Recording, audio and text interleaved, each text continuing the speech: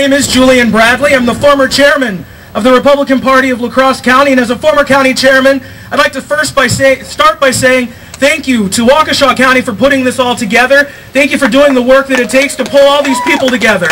So thank you. Next and most importantly, I want to thank our Heavenly Father for such a beautiful day as we've all gathered.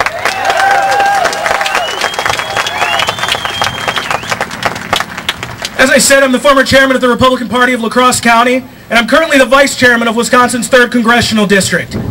Now, a lot of times I'll give people my conservative credentials, and they tend to give me a little bit of a funny look. Some of them will even say, I'm sorry, did you say Republican? You meant Democrat, right? I said, no. Well, unless the Democratic Party's changed their platform to being pro-life, pro-gun, and pro-business, I'm pretty sure I meant Republican.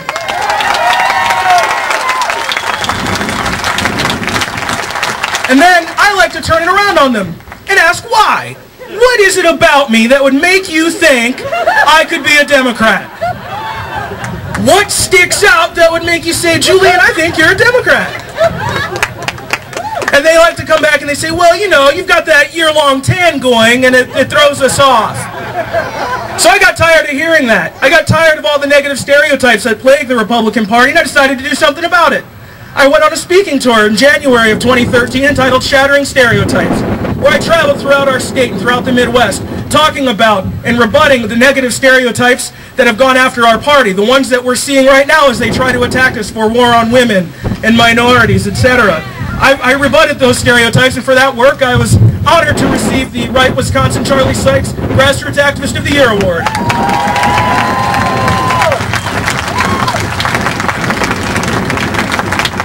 It was also while on that speaking tour that people would come up to me and say, Julian, you're such a great messenger for the party. When are you going to run for office? And I always gave the same answer. As soon as I found a place where I can make a positive change. Now, at the end of the year, I started looking at our ballot and looking at the offices that were going to be up for election. Starting at the top, we have Governor Walker. Thumbs up, we're good there. Going down, we see Attorney General. Okay, JB steps off, but Brad Schimel steps up. We're good there. And then I see Doug LaFollette's name at Secretary of State. Bingo. That's the place where we need to make a change. Now, how many people here are familiar with the significance of February 11, 2011? I see a few hands. Okay, yep. It was my 30th birthday. But also, also, I got a great birthday present, and so did the rest of Wisconsin, because that was the day Governor Walker introduced Act 10, the Budget Repair Bill.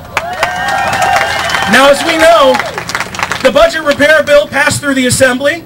It passed through the Senate, went off to Governor Walker to be signed into law. And at the time, it still had to go to the Secretary of State to be published. My opponent, Doug LaFollette, woke up after 36 years of hibernation, and he said, I don't like this bill. I'm going to sit on it.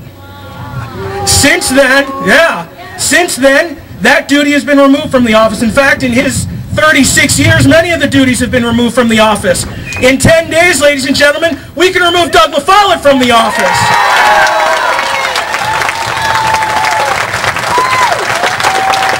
You know, I had a lot of people encouraging me to run for office, and then as soon as I said Secretary of State and Doug LaFollette, everybody took a step back and said, whoa, I don't know, that's a pretty tough, that's a, that's a tough character, that's a tough name to try to go up against. The first LaFollette was elected in 1880. That's, that's going to be very difficult to go up against. I said, no, no, no. When I look at what he's got to do and what I've got to do, I'd much rather be in my shoes. You see, all I have to do is defeat a 36-year incumbent with a famous last name and a millionaire on the top of the ticket. It, it, sounds, it sounds a lot more difficult than it is because you see what Doug LaFollette's got to do, what the Democrats have to do, Mary Burke and the rest of the ticket.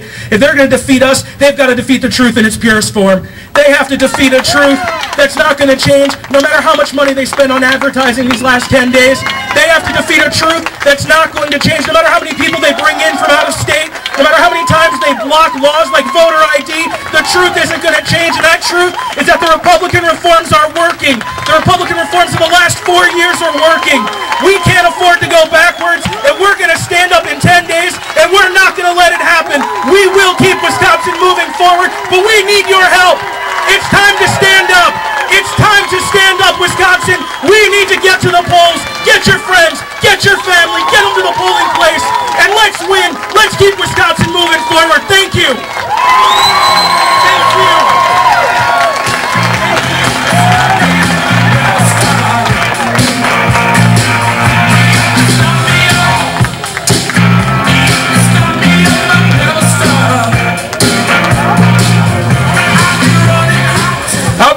Bradley, everybody?